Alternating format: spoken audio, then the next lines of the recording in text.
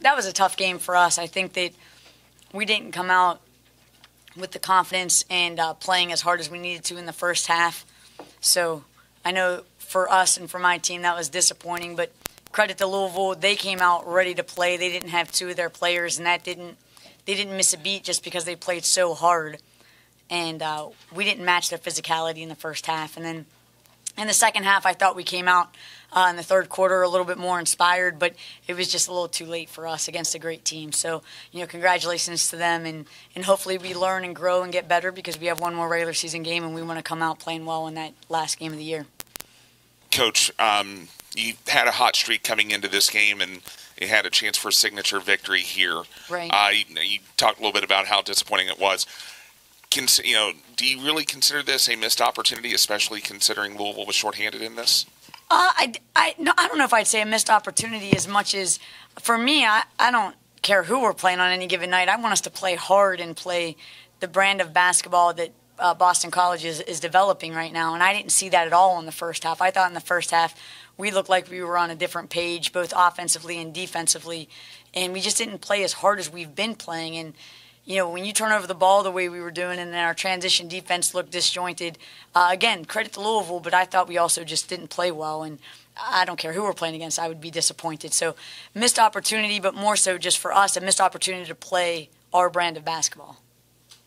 Coach Makayla Dickens came out really strong in the first yes. quarter for you with the three threes. Uh, earlier against Louisville, I think she what had five or six against the Cards. Uh, let's talk about her her season so far. Yeah, she's doing great, and you know she's one of those players when she starts to feel her confidence rise. Uh, I think she's next to unstoppable. But we also, you know, kind of conserved her in the second half. She's, you know, she's a kid that has been a little bit injured right now, so we didn't feel the need to kind of put her back in, in the sense that we were down and kind of saving her a little bit for the end of the season. Just some of your thoughts on Kylee Shook and her performance tonight. Man, she was good, and and she she was good on the boards and just really getting in early position to grab uh, offensive and defensive boards. But then I thought she really took her time. Uh, and we even said, you know, our, our game plan was to crowd her a little bit, not give her the opportunities that she had. And that's, again, where it was a little disappointing because we really didn't stick to our game plan to go against her. But she, she played great tonight. Uh, Coach Walz said that, uh, knowing you from his time, your time at Maryland, he uh, said you were a schemer, and he meant that in the positive sense. Uh-huh. Uh, can you talk about what your strategy was coming into the game tonight? Yeah, it didn't look like I wasn't much of a schemer tonight. I'd say uh, we, you know, our strategy was if uh, if five was playing, you know, if Mykasa was playing on the perimeter to kind of help off around her, and then make sure that in transition we didn't give them anything uh, and both of those things didn't really work because I felt like the person that, in the first half especially, that was guarding, that was supposed to be the quote unquote help person, was almost like being the break person. We were like taking a break as opposed to being a help person. And then in transition, I just don't think we filtered out. We kept running down the middle of the floor, which allowed them to have the kicks up the sidelines that they wanted. And, and then I thought the way um, uh, Jazmine Jones came out initially, just hitting the pull up jumper, uh, you know, her mid range game is kind of like a layup. you know, she, she shoots a pull up jumper as if it's a layup, and we were letting her get to where she wanted to get to in that first quarter, and I think that kind of just got us a little.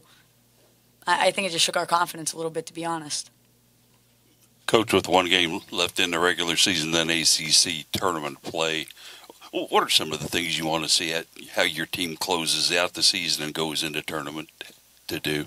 I want us to be gritty uh, on the offensive end, I want us to kind of have that synergy and work on all cylinders where we share the basketball and we meet passes and, and not throw the ball away or look like we've never played offense before. I want us to look smooth.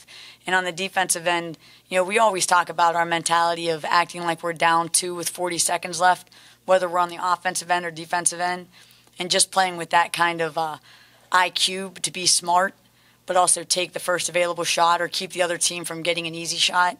So I hope I can see that coming into the end of the season where we kind of we didn't look gelled at all in this game, which again we were coming off a little bit of a streak where I thought we've looked really well. So hopefully we can get it back together, and maybe this is the uh, learning experience we need going down the stretch. Thank you guys.